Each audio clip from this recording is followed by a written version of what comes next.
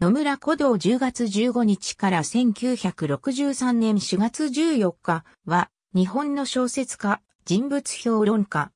銭形平次、鳥物控えの作者として知られる。音楽評論家としての筆名は荒恵比寿、野村荒恵比寿とも。本名、野村長一。娘は、作家の松田恵子。旧居地1938年発行のレコード音楽昭和13年3月号に読者からの当初に答える形で次のように述べている。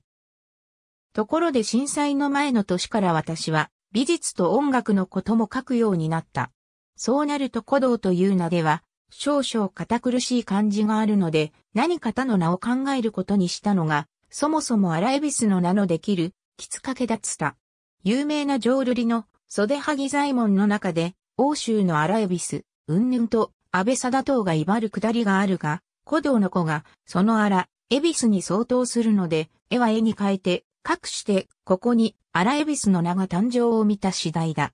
やわく、ひらがなで書いた掲載参照、二上陽一、少年小説の系譜。ありがとうございます。